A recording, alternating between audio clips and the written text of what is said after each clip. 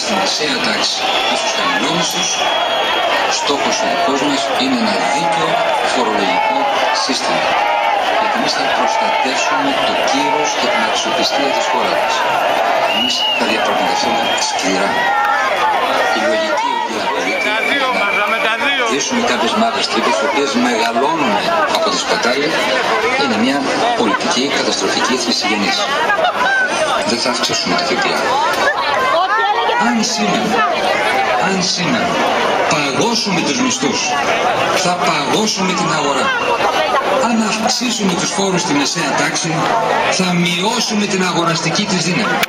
Θα βαθύνουμε την ύφεση, θα μειώσουμε τα έσοδα του κράτους και θα επέλθει ο φαύλος κύκλος της κατάρρευσης.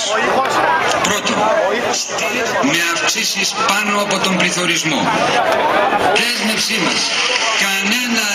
Κανένα νέο φορολογικό βάρος στα μεσαία και χαμηλά εισοδήματα. Μισθών και συντάξεων που καλύπτουν τον πληθωρισμό.